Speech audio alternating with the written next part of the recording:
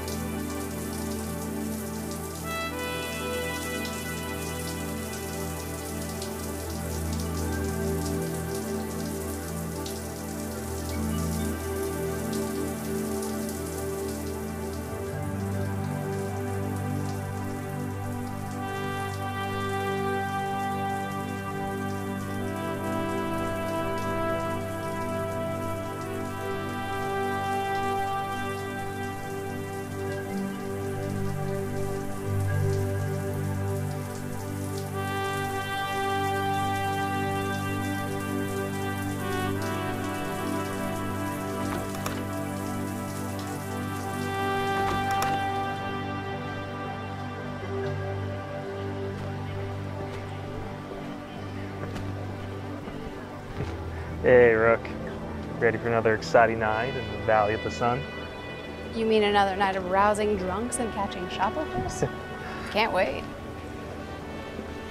You know, I, I didn't bust my ass to get to the Blade Runner unit just so I could do the same crap I was doing on patrol. When regular cops get swamped, pick up the slack. You know this. But we're always picking up the slack. Well, you know the motto, Nikki. Phoenix does not have a replicant problem. Then why does Phoenix have a Blade Runner unit? What's this? You'll see.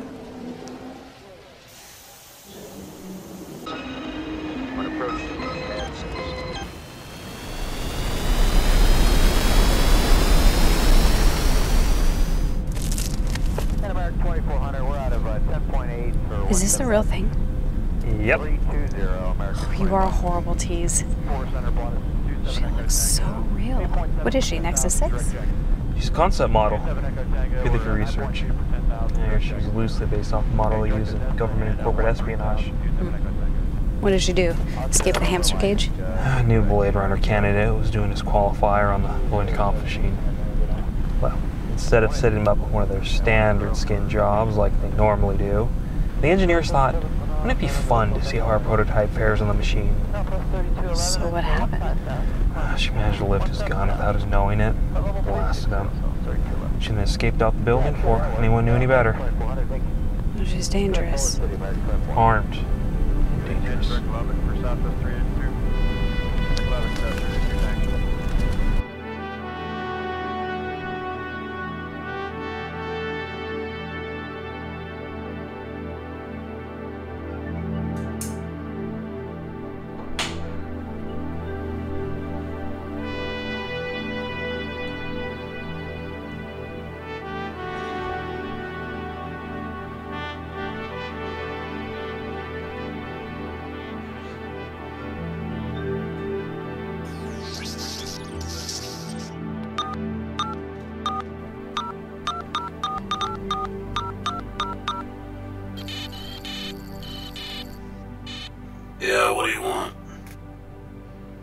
I'm told you know how to locate particular kinds of merchandise.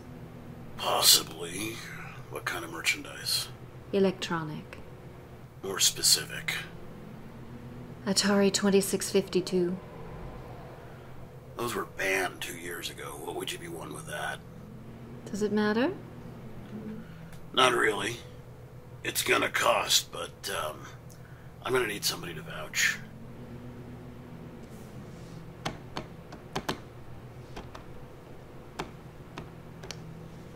There's proof of my credit limit and a contact. It might take a few days to get one. Well, I got time. Okay, I'll check your references. Call me back in two hours.